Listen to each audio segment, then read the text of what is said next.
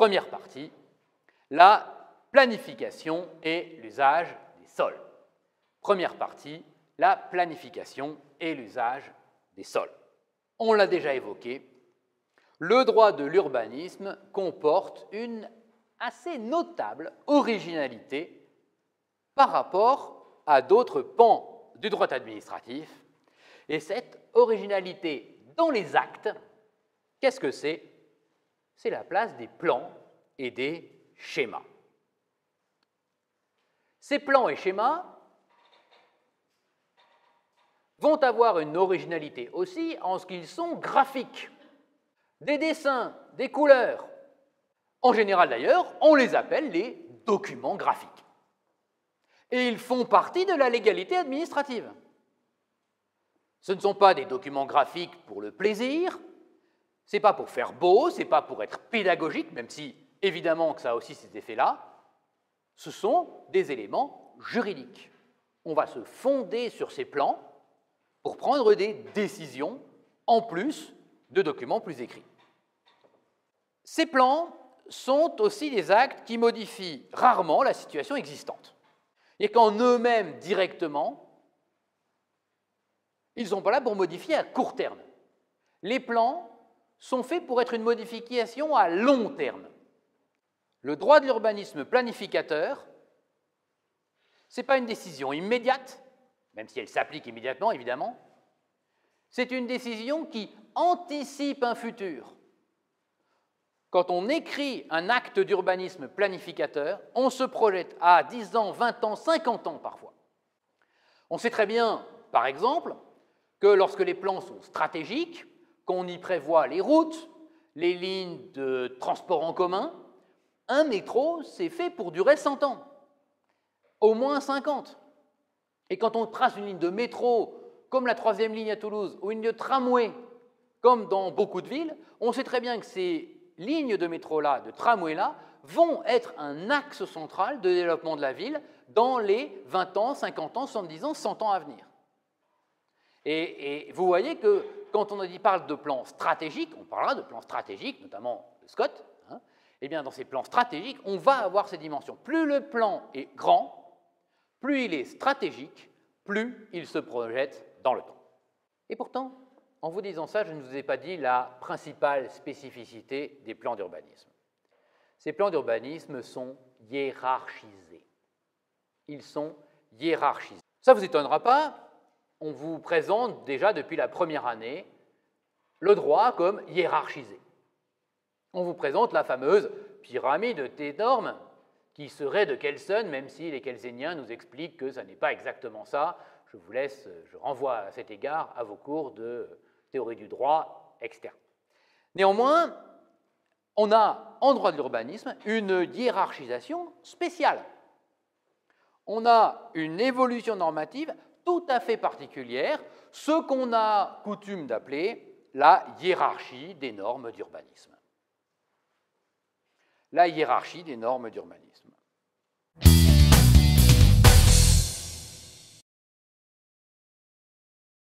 Chapitre 1er. Chapitre 1er. Les règles communes au plan d'urbanisme. Au à UX, plan avec un S d'urbanisme. Les règles communes au plan d'urbanisme. Je vais essayer d'être assez long sur ce chapitre. Pourquoi? Parce que je voudrais que vous ayez bien en tête, par ce chapitre premier, tous les points communs des différents plans. Et je pense qu'à travers ces points communs des différents plans, ça vous aidera, et ça nous aidera, à être plus rapide, plus efficace, lorsqu'on va aborder plan par plan. Quand on aborde les choses plan par plan, il faut bien reconnaître, et passez-moi la blague, que c'est un peu plan-plan. C'est-à-dire que ça fait un cours qui est parfois un peu ennuyeux. On va voir les conditions du plan, la façon dont on va le prendre, et je vais essayer de limiter au maximum ces éléments euh, très factuels, euh, très techniques. Euh, entre nous, on ne va pas s'étendre très longtemps sur les procédures d'élaboration des plans, qui ne vaudront que pour ceux qui en feront particulièrement ou qui voudront contester à ces moments-là, et qui sont très techniques. Euh, je voudrais donner un peu de souffle à tout ça et essayer de euh, vous concentrer sur des points communs de ces différents plans. Et donc ce chapitre 1 va être un peu euh, particulièrement développé par rapport à ce que vous pourriez imaginer comme point commun des différents plans. D'accord? On va commencer par un paragraphe premier, la hiérarchie des normes d'urbanisme. Paragraphe premier, la hiérarchie des normes d'urbanisme.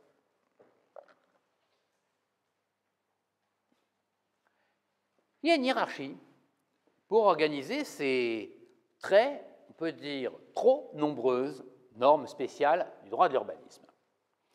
Je vous disais qu'elle était spéciale, cette euh, hiérarchie. En réalité, elle est doublement spéciale. La première spécificité, c'est qu'elle s'applique à des normes que vous ne connaissez pas encore. Différents plans. Vous avez entendu parler de certains. J'ai moi-même évoqué le SCOT, schéma de cohérence territoriale, le PLU, plan local d'urbanisme. Et évidemment, on va les voir de manière un peu plus poussée dans les semaines à venir. Mais il y a d'autres plans que vous ne connaissez pas et qu'il va falloir aborder de manière juridique. Mais au-delà de ces plans et de leur éventuelle hiérarchisation, il y a une autre spécificité, une deuxième, qui est les rapports de normes entre eux, qui sont des rapports de normes originaux. Rapports de normes originaux, qu'est-ce que ça veut dire? Ça veut dire la façon dont les plans vont s'imposer les uns aux autres vont être originaux. Alors, il serait intéressant que je vous fasse un panorama, et dans mon ouvrage, j'essaie, avant de commencer plan par plan, de faire un panorama des différents euh, plans d'urbanisme pour que vous ayez en tête et que vous ne découvriez pas les plans de manière longue un à un. Donc, je vais me contenter, là en cours, d'aller un petit peu plus vite et donc de vous faire, en quelque sorte, les dix plans dans l'ordre de leur taille, en distinguant ce qu'on va distinguer après. Hein, c'est plutôt une annonce de plan un peu développée qu'un résumé, même si ce serait intéressant d'avoir d'abord une espèce de panorama et ensuite de rentrer plan par plan. Je vais me contenter d'une espèce de, grosse annonce de plan et ensuite on rentrera plan par plan. D'accord? Alors, on va distinguer euh, les normes nationales des normes locales. Euh, dans les normes nationales, qu'est-ce qu'on va avoir? Tout en haut, on va avoir ce qu'on vient de voir, c'est-à-dire les principes du droit de l'urbanisme. D'accord? Les principes du droit de l'urbanisme qu'on vient de voir, article L101 et suivant.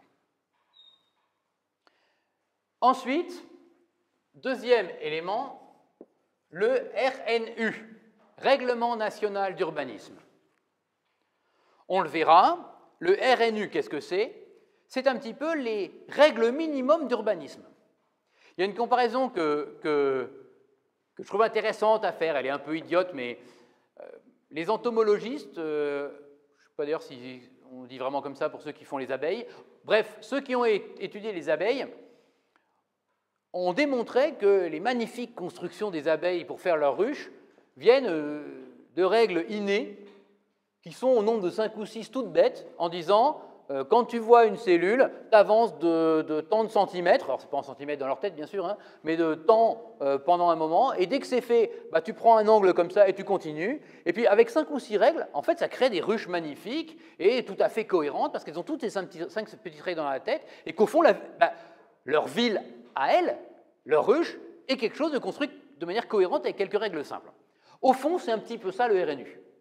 Le RNU, c'est quelques règles simples d'urbanisme, on le verra quand on étudiera ces règles d'urbanisme, euh, quelques règles simples d'urbanisme qui correspondent à de la base du droit de l'urbanisme. Quand il n'y a pas de plans locaux, quand il n'y a rien comme droit de l'urbanisme, on sait qu'il y a au moins le RNU qui s'applique. D'accord? On verra qu'il y a différents types de règles dans le RNU, des règles qui s'imposent tout le temps, même quand il y a un plan, et d'autres qui s'imposent que quand il n'y a pas de plan. Hein. Règles impératives et supplétives, on les appelle, on va le voir. Mais néanmoins, c'est intéressant de voir que c'est une sorte de, une sorte de plus petit commun plan d'urbanisme simplifié qui déjà simplifierait beaucoup de choses pour la ville. D'accord? Autre, euh, euh, norme en dessous. Ici, on va avoir les dispositions pour le littoral et la montagne. Ils sont issus de loi littorale et loi montagne des années 80. Aujourd'hui, on les appelle, dans le langage courant encore, loi littorale, loi montagne, mais ce ne sont plus des lois à part, on se réfère aux dispositions spécifiques au littoral et à la montagne qui sont dans le code de l'urbanisme. D'accord? Qui sont là, mis dans le code, codifiés, les lois littorales et montagne de l'époque, mais on dit plutôt dispositions que loi montagne, loi littorale, même si par simplicité de langage, ça existe encore. Donc loi littorale, loi montagne, dispositions spécifiques à certaines zones. Ensuite, on va avoir les DTA et DTA-DD. Les DTA sont censés avoir été transformés en DTA-DD. Qu'est-ce que c'est? Les directives territoriales d'aménagement et les directives territoriales d'aménagement, on peut mettre simplement entre parenthèses, et de développement durable. Les DTA-DD étaient censés remplacer les DTA. En réalité, aucune DTA-DD n'a été prise depuis. Il n'y a que les anciennes DTA qui s'appliquent encore. Alors, la situation était un peu ambiguë. Euh, elles n'ont de rôle que dans certaines zones du territoire national. On les verra. Elles sont en dessous on considère qu'elles sont en dessous de la littorale et montagne, même si à un moment on a considéré qu'elles avaient la même valeur juridique dans une hiérarchie spécifique. Et en dessous, enfin, ce que j'aime appeler les pigs et les ouins, parce que ça fait rigolo de dire pig et ouin, en fait ce sont les PIG et les OIN. Les pigs, ce sont les projets d'intérêt généraux. Le projet d'intérêt général, et les OIN, les WIN, ce sont les opérations d'intérêt national. De quoi s'agit-il? Je simplifie, parce qu'on est dans ce panorama un petit peu annonce de plan grossi. C'est la possibilité, ce sont les outils de l'État pour imposer de l'urbanisme d'intérêt régional ou national, les outils de l'État pour imposer des, politiques d'intérêt général, local ou national aux collectivités territoriales. Le droit de l'urbanisme, vous le savez, a été extrêmement décentralisé. Et cette décentralisation a conduit les personnes locales à parfois vouloir s'opposer à un projet national qui serait sur leur territoire. Il fallait bien trouver un moyen pour que l'État puisse dire, ben non, euh, ce nouveau quartier, ce euh, nouveau projet d'aménagement, c'est un projet d'ampleur nationale, on, va, on doit pouvoir l'imposer aux communes. Euh, et la petite commune rurale n'a pas à s'imposer, à, s'opposer à un projet d'ampleur nationale sous prétexte qu'elle est sur son territoire. Hein. Prenez l'exemple euh, du développement d'un port industriel. Pour nos importations et nos exportations, c'est extrêmement, extrêmement, important d'avoir ce grand port industriel. Euh, la petite ville côtière bien tranquille va dire mais non, non, mais moi je veux pas du tout du port industriel, vous le faites ailleurs. Sauf que tout le monde va le faire ailleurs. Vous connaissez ce principe, comment on appelle ça Le NIMBY. Vous connaissez le NIMBY? Alors, Je vous parle de NIMBY. Ce n'est pas un principe, c'est une attitude de droit qu'on utilise en droit de l'environnement. Où est-ce qu'ils sont les M2 environnement, là? Ben, Vous ne connaissez pas le NIMBY? Alors, le NIMBY, c'est assez simple. C'est l'idée que quand vous dites à une population, est-ce que vous êtes pour une usine de traitement des déchets plutôt qu'un endroit où on va les brûler ou les enterrer. Tout le monde fait oui, il faut d'abord, oui, je veux, je suis pour les usines de traitement. Si on vous dit, est-ce que vous voulez absolument avoir une usine, euh, une station d'épuration qui va laver l'eau, euh, qui ne va rejeter dans la nature que de l'eau de baignade, euh, sans défaut pour la nature. Est-ce que vous êtes pour? Oui et puis tout ce qui est grands services publics environnementaux, comme ça la population est pour, ils sont d'accord, ils veulent le développement de forêts, ils veulent qu'on empêche les constructions, etc. Globalement, c'est assez partagé, encore plus chez les plus jeunes générations, mais c'est globalement partagé. Et puis tout d'un coup, vous dites, très bien, vous vouliez une station d'épuration où on lave l'eau, il y a tous les égouts qui arrivent à un endroit, puis on fait décanter, puis on lave l'eau avec un peu de produits chimiques, mais aussi avec de l'air, etc. Puis à la fin, on sort de l'eau, on va la mettre là, à côté de chez vous. Et là, oh non, salaud Et ils font des procès, ils luttent contre parce qu'ils n'en veulent pas. Le NIMBY, c'est ça. C'est, ça veut dire not in my backyard. Ce qui veut dire pas On dirait, en anglais, ça veut dire pas dans ma cour de derrière au sens littéral. En fait, en français, on pourrait traduire par pas dans mon jardin. Le principe de pas dans mon jardin, c'est l'idée que on veut bien des choses d'intérêt général qui sont bons pour la nature ou autre chose, mais surtout pour la nature, mais pas près de chez soi, parce qu'évidemment, quand on est station d'épuration à côté de chez soi, on a peur que ça sente les égouts dans la journée dès qu'il fait un peu chaud. Quand on, a, quand on veut évidemment une usine de traitement des déchets, plutôt que quelque chose où on entasse ou on brûle, eh bien, cette usine de traitement des déchets, on ne la veut pas à côté, parce qu'il y a des camions de, déchets qui vont arriver toute la journée pour euh, voir les déchets traités. D'accord? C'est ça le principe du NIMBY. Eh bien en fait, c'est exactement pour ça que les pigs et les ouins existent. Il y a des choses qui sont d'intérêt général, qui sont bonnes pour la planète, qui sont bonnes pour la population, qui sont des attitudes responsables, des politiques nationales. On peut même aller plus loin. Au fond, la défense, c'est une politique nationale. Faire la, défense à Paris, c'est un énorme quartier d'affaires pour essayer d'équilibrer un peu avec la City de Londres, avoir des afflux financiers, ce n'est pas du tout une politique environnementale, mais c'est clairement une politique d'intérêt national. Pensez que les trois communes, dont Nanterre, sur lesquelles sont implantées et implantées la défense, ils auraient pu s'opposer à un grand projet comme ça sans que l'État puisse dire mais attendez, euh, non, là c'est trop important. On parle de, milliards d'euros d'importation, d'exportation, d'activités, euh, pas que industrielles d'ailleurs, mais d'activités économiques. Euh, non, enfin, maire des trois, les maires des trois communes qui sont là, en fait, on ne veut pas qu'ils parlent. On veut les empêcher de s'opposer à ce projet. D'accord? C'est pour ça qu'il y a des grandes politiques d'intérêt national, notamment les projets d'intérêt généraux et les opérations internationales. C'est compris? Voilà. Là, on en était au niveau national. Vous voyez?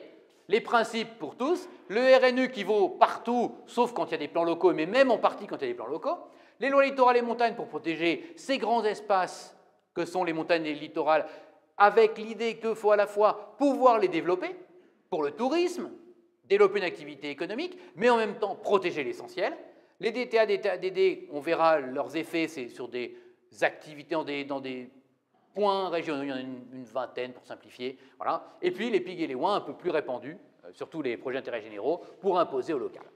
Puis il y a les plans locaux. Les plans locaux, les plans locaux, d'abord, on va avoir des plans au niveau régional, pas forcément géographiquement grand, mais mais quand même au moins avec une certaine forme d'unité, qui vont être le SDRIF, le schéma directeur de la région Île-de-France, et les SAR, schéma d'aménagement régionaux. Les SAR, c'est pour euh, l'outre-mer. Le, SDRIF, c'est pour l'Île-de-France. D'accord? Schéma directeur de la région Île-de-France, SDRIF. SAR, schéma d'aménagement régionaux, c'est pour les Outre-mer. Et on peut aujourd'hui ajouter les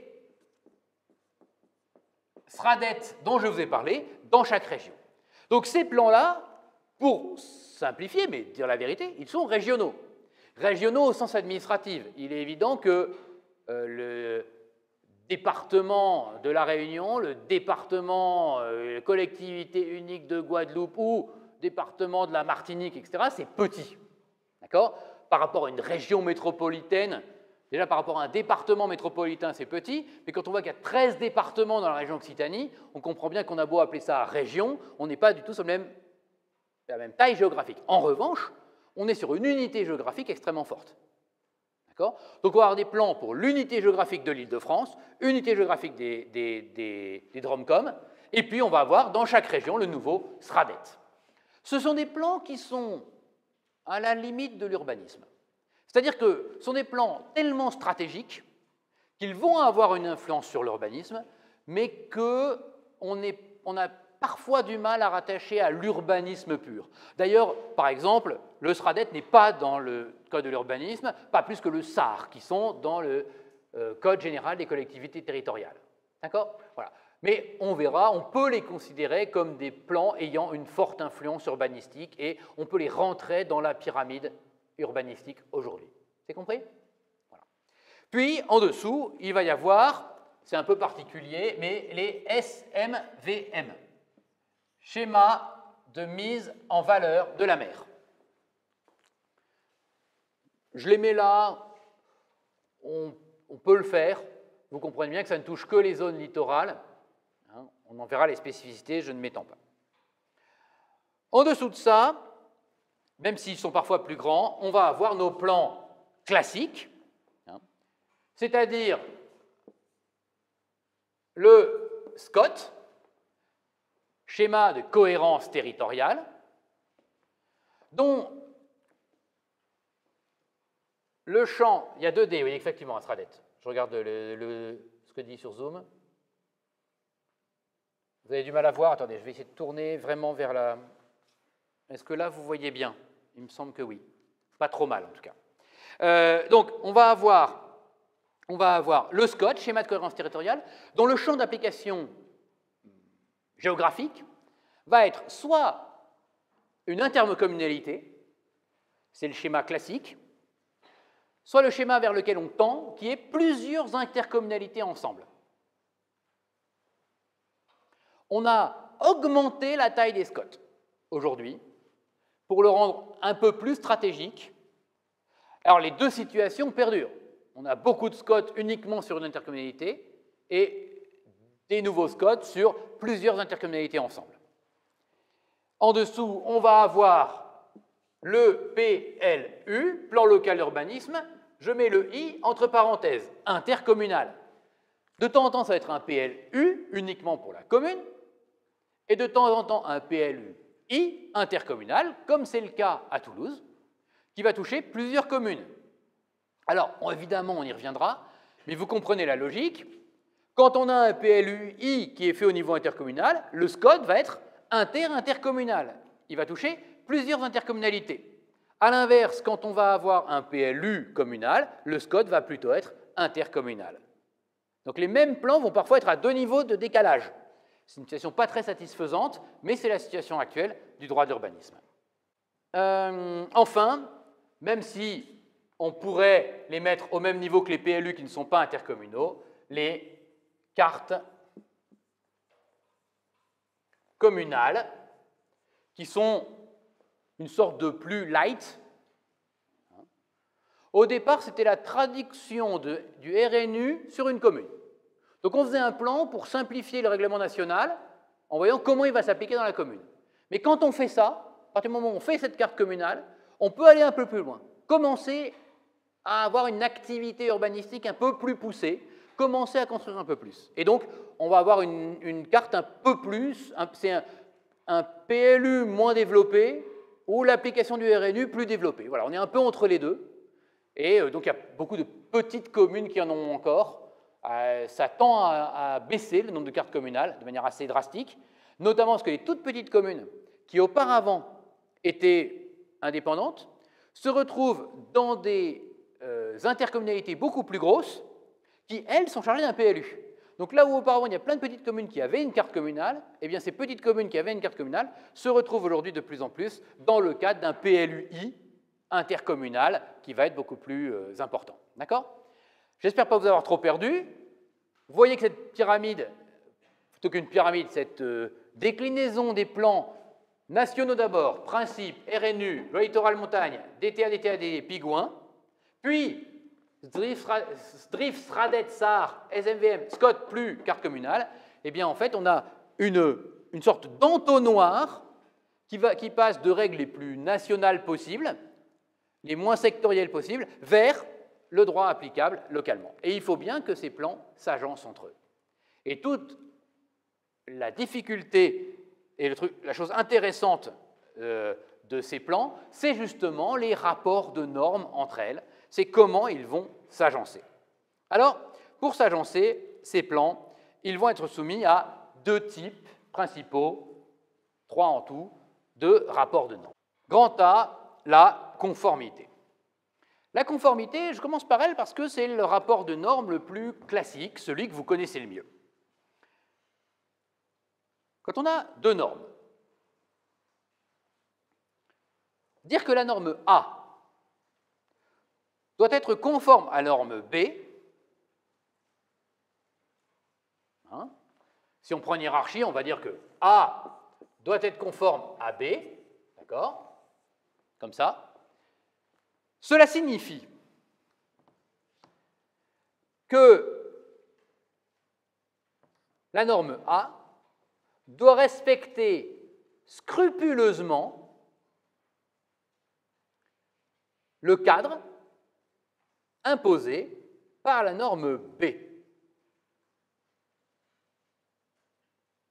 Lorsque A ne respecte pas scrupuleusement le cadre de la norme B, la norme A est considérée comme devant être nulle. On pourrait dire illégale, mais c'est une question de nullité de la norme, si on se réfère à un terme plus administrativiste. D'accord?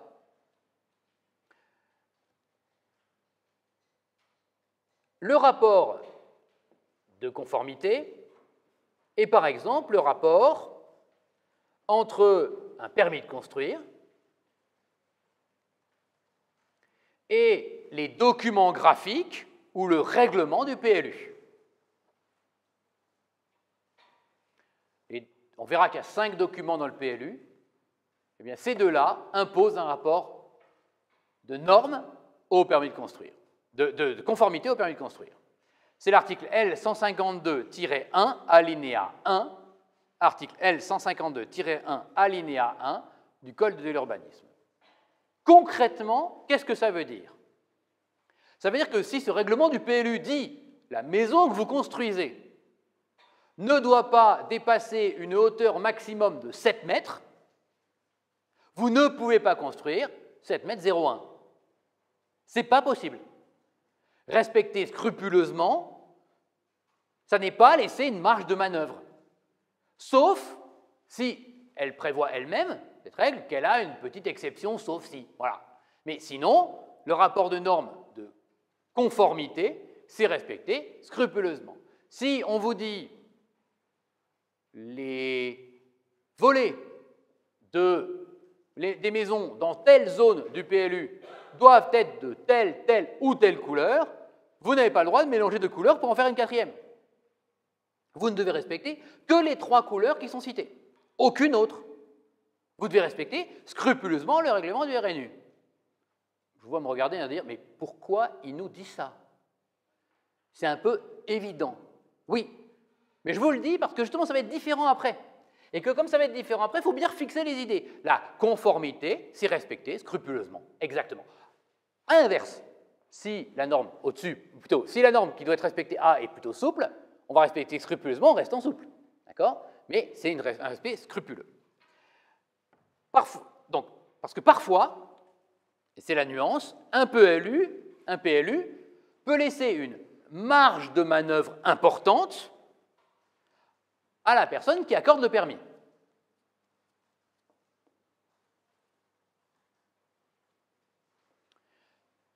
Par exemple, si le PLU dit les volets doivent être bleus, quel que soit le type de bleu, vous comprenez bien que celui qui accorde le permis, eh ben, il a une liberté de se dire, tiens, c'est bleu, bah, tant que c'est bleu, ça me va. Alors les bleus un peu trop verts, il pourra dire, bah non, là c'est vert, je dis non. Mais ça peut être un bleu très ciel, un bleu très marine, peu importe, ce sera bleu. Ce n'est pas deux couleurs précisées dans le PLU. Donc vous comprenez bien que la norme supérieure, elle s'impose scrupuleusement à une norme inférieure, mais la norme supérieure peut elle-même être plutôt souple être plutôt euh, laisser une marge de manœuvre à celui qui va prendre la, la norme d'en dessous. D'accord? Alors, cette norme supérieure peut notamment permettre des adaptations mineures ou des dérogations. En disant, l'immeuble devra faire 7 mètres maximum, sauf si les considérations de pente du terrain permettent un aspect global correspondant à ce type, au même type de, volume. Ça veut dire que l'architecte va lui-même interpréter cette règle en disant bah, allez, je vais faire 7,50 m parce qu'au fond, mon terrain est très en pente, donc de l'autre côté, ça fera moins, etc. Et puis, et puis euh, ce sera à l'autorité administrative de dire bah oui, euh, si, on fait une, si on voit en 3D euh, virtuellement ce que ça donne, ça ressemble quand même beaucoup aux maisons d'après, même si ça fait 7 mètres 50, mais au moins on peut le faire un étage en plus qu'on ne pouvait pas faire à 7 mètres pile. Vous voyez ce que je veux dire? Prends un exemple un peu virtuel, mais et, dire bah oui, ok. Ça, ce sont des adaptations mineures ou des dérogations prévues par la norme supérieure. D'accord? C'est l'article L152-3 et suivant du Code de l'urbanisme. L152-3 et suivant du Code de l'urbanisme. L152-3 et suivant du Code de l'urbanisme. Le RNU lui-même prévoit parfois des prescriptions spéciales. Mettez-le entre guillemets, c'est le terme de l'article. Le RNU prévoit des prescriptions spéciales motivées. C'est l'article R111-27 du Code de l'urbanisme. R111-27 du Code de l'urbanisme. Ces textes, vous le voyez, ne portent pas atteinte au rapport de normes. Et il faut bien faire la différence entre les deux le rapport de normes est très strict, on doit respecter scrupuleusement la norme du dessus. A l'inverse, si la norme du dessus laisse une marge de manœuvre, alors malgré tout, il y aura une liberté de la norme du dessous. C'est compris? Ça, c'est le système classique. C'est ce que vous avez toujours appris. En droit de l'urbanisme, il y a une spécificité, c'est le grand B, la compatibilité. Grand B, la compatibilité. La compatibilité. La compatibilité va laisser un rapport de normes un peu plus flou, un peu plus souple. Pourquoi est-ce qu'elle a été créée, cette compatibilité? Eh bien, en fait, du fait de la décentralisation. Le rapport de compatibilité des normes en droit d'urbanisme est issu d'une contradiction. Contradiction entre des normes étatiques, des normes nationales, qui sont supérieures. On le voit là. La partie gauche du tableau, les normes nationales, sont des normes qui sont au-dessus des normes locales dans la hiérarchie des, des normes. Mais en même temps, une très forte décentralisation. On a des normes nationales supérieures, mais on a une décentralisation très poussée. Dès 82, quand on a décentralisé, une des premières choses qu'on a décentralisées, c'est le droit de l'urbanisme. Parce que l'idée est de traiter en local des choses d'intérêt local. Ça a créé un rapport de normes particulier que, et c'est un gros teasing, vous ne saurez que demain. Bonne fin d'après-midi et à demain à tous.